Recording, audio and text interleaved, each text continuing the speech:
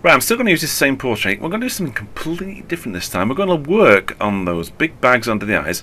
And in Adobe Photoshop CS6, we're going to use the patch tool.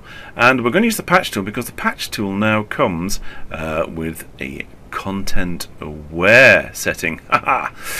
So let's get a bit closer on this. Control plus or Command plus plus. Let's get in there and let's look at those bags under the eyes. They're pretty horrific. Um, I'm going to go over here and look at the patch tool. You can see there on the top here we've got a content aware setting. Still got the normal setting, uh, but let's look at content aware.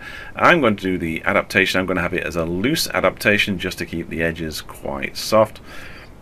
You can play around with all different settings there, but for the moment I'm just going to uh, mouse down, sort out these areas underneath here.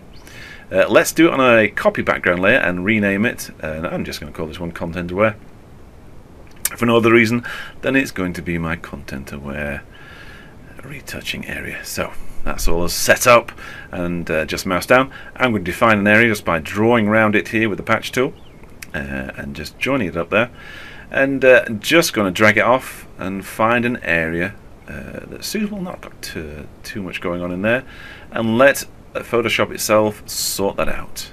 Again, I'm going to define another area over here.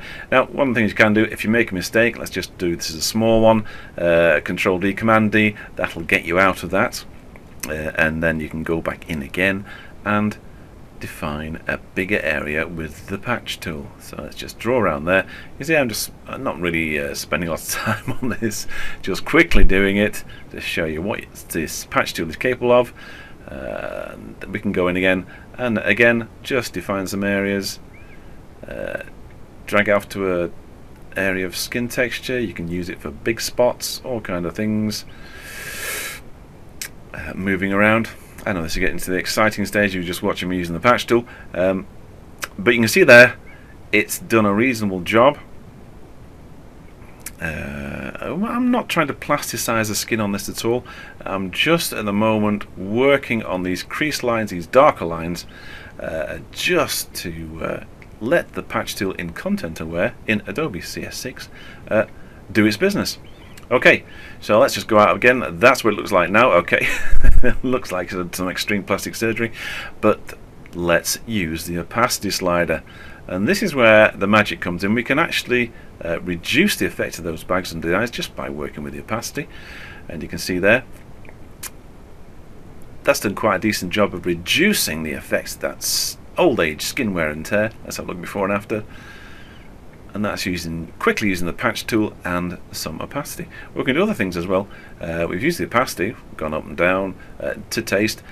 Try your blend modes as well. And the other one to do is lighten. You can see there that brings back some of that skin texture, that uh, pore work in there.